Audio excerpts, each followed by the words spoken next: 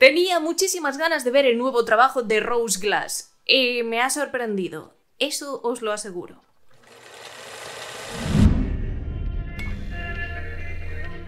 You talked to your dad recently? Why?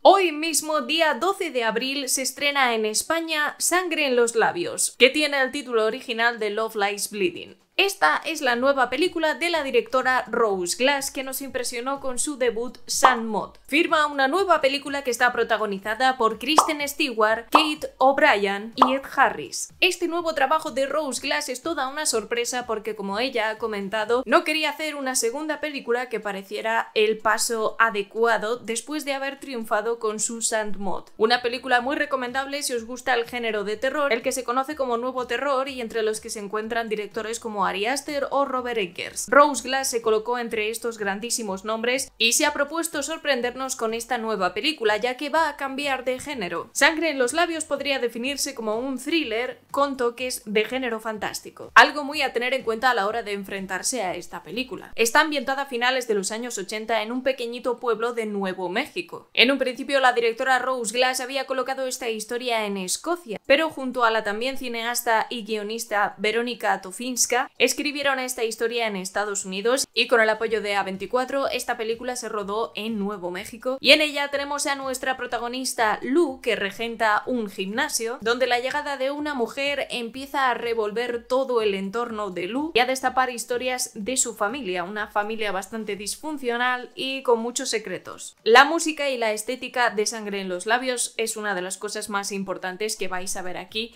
y también la interpretación tanto de Kristen Stewart como de Kate O'Brien. Ambas están magníficas, tienen una química tremenda y la historia de amor que les une aquí hace que la película sea muy especial. De hecho, a mí me ha recordado a una especie de versión de Thelma y Luis bastante retorcida. No es la primera vez que la directora utiliza el género fantástico o digamos una pequeña suspensión de la realidad para expresarse en sus historias. Y en este thriller rural pasan cosas un poquito raras. Ben Fordersman es el que firma la dirección de fotografía de este Sangre en los labios que es muy importante. Deja unas imágenes preciosas con unas iluminaciones que son hipnóticas. El resto del trabajo lo consigue el magnífico físico de Kate O'Brien que está espectacular y que por cierto tuvo que audicionar seis veces para esta película al contrario que su compañera Kristen Stewart ya que Rose Glass escribió ese personaje pensando específicamente en ella. Como os podéis imaginar la música está llena de sintetizadores, sonidos muy ochenteros que además le dan un toque extraño y bastante onírico a todo lo que ocurre en la película. En este thriller vais a encontrar sangre, violencia y también escenas adultas. Para mí todo el planteamiento de sangre en los labios me parece muy bueno, la ambientación, esa estética maravillosa, muy llamativa, pero creo que el desarrollo de este thriller no es tan bueno. Así como en su primer trabajo Sandmod creo que consiguió sorprender,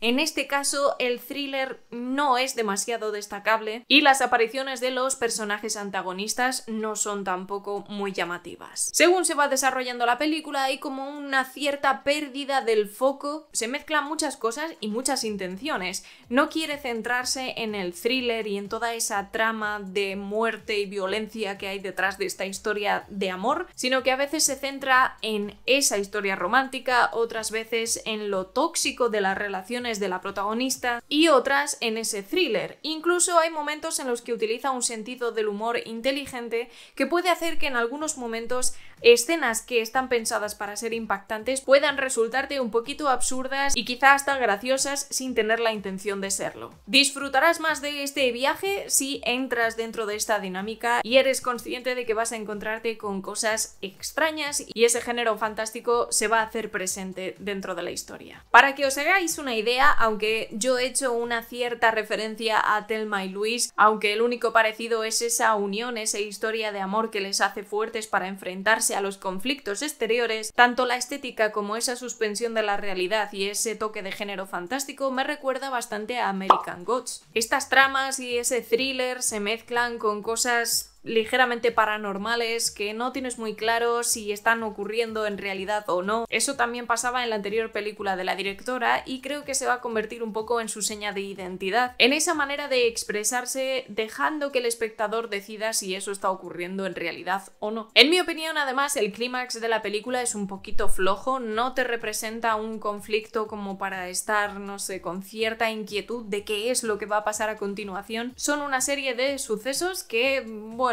tampoco tienen demasiada importancia y parece que no llevan a ninguna parte. A eso me refiero cuando digo que el guion, sobre todo, y la intención de la película no sé muy bien dónde está puesta. No sé si es en la historia de amor, si es en el thriller o si es en analizar todo ese tipo de relaciones tóxicas. No lo sé, porque creo que no llega a ninguna de esas conclusiones y da la sensación de que o está incompleta o no tiene muy claro hacia dónde quiere ir. Rose Glass se ha enfrentado al reto de tener una producción mucho más grande que su primera película, ya que Sandmod costó únicamente 2 millones y medio de dólares y esta película dicen que ha triplicado ese presupuesto, aunque no hay cifras concretas de lo que ha costado Sangre en los labios. Sin duda es una película provocadora, visualmente espectacular y dos interpretaciones de sus protagonistas a las que creo que se les podría haber sacado muchísimo más partido, aunque ambas hacen un trabajo muy bueno en esta película. Como conclusión, creo que es un trabajo que se ha quedado a mitad de camino, que no ha sabido encontrarse a sí misma y que tiene un objetivo bastante vago. Rose Glass tiene una mano magnífica para dirigir, creo que ella es muy buena y sabemos a día de hoy que ya tiene un tercer trabajo en solitario. No sabemos si va a volver al género de terror, cosa que a mí me encantaría porque creo que tiene un potencial enorme en ese género, pero bueno, veremos qué es lo que quiere hacer ella y qué es lo que nos plantea. Creo que aquí ha sido atrevida por intentar hacer cosas diferentes, nuevas, con una mezcla de géneros y de estilos muy curioso, pero que ha salido algo poco definido y que no te deja ninguna impresión en concreto. Por todo eso, para mí, Sangre en los labios es un 6. He disfrutado mucho de la interpretación de Kristen Stewart y Kate O'Brien, creo que están magníficas. Visualmente es espectacular. Todo el inicio me parece maravilloso, pero después ese desarrollo y esa conclusión hace que la película pierda fuerza, no te llega a provocar nada en realidad. Digamos que te deja un poquito frío y no debería ser así con una película que se plantea como algo transgresor. Me habría gustado ver algo más enfocado al thriller o si quieres a esa historia de amor, no me importa. Abre demasiadas puertas y no cierra ninguna. Es una pena, pero la película es toda un estado de ánimo. Entra por los ojos, pero al final no te dice mucho. Cuando la veáis, por favor, dejadme aquí abajo en la sección de comentarios vuestra opinión. Ya sabéis que se estrena hoy mismo, 12 de abril, aquí en España. Y comentadme también si os gustó la primera película de Rose Glass, película que sí que recomiendo bastante. Como siempre, os recuerdo que os podéis suscribir a mi canal, que es totalmente gratis y me ayudas un montón. Y te dejo por aquí algún vídeo que puede que te interese.